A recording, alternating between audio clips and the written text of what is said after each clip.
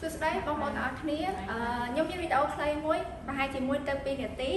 និយាយពីខ្ញុំហើយនិង Alpha Spin ក៏ប៉ុន្តែខ្ញុំស្គាល់ Alpha Spin តាំងពីឆ្នាំ2014ដែល Alpha Spin គឺមាននៅលើពិភពលោកតែម្ដងហើយនាំចូលដោយក្រុមហ៊ុន Biswell យើងឥឡូវនេះអញ្ចឹងតាំងពីខ្ញុំស្គាល់ Alpha Spin ក្រោយមកគេ update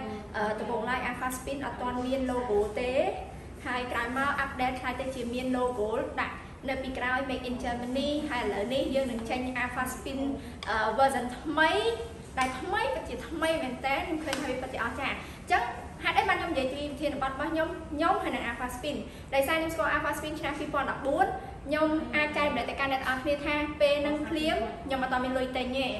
ជាក់ស្ដែងក្នុងកំឡុងពេលប្រហែលជា2 3ខែតម្រាំតែខ្ញុំអាច រកវិធីសាស្ត្រខ្ញុំអាចរកលុយទិញ Alpha Spin បានមួយគ្រាប់អញ្ចឹងអ្នកខ្លះគាត់ឆ្ងល់ថាចេះ Alpha Spin ហ្នឹងថ្លៃ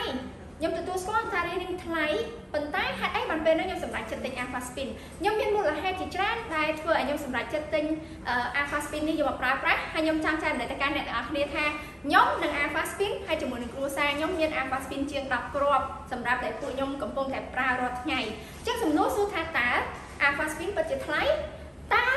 Alpha Spin មានតម្លៃថ្លៃជាងសុខភាពរបស់ខ្ញុំហើយនិងសុខភាពរបស់គ្រួសារខ្ញុំដែរទេចុះអ្នកទាំងអស់គ្នាវិញរងចាំទស្សនាវីដេអូរបស់ខ្ញុំបន្តទៀតរវាងខ្ញុំហើយនិង Alpha Spin អរគុណអ្នកទាំងអស់គ្នា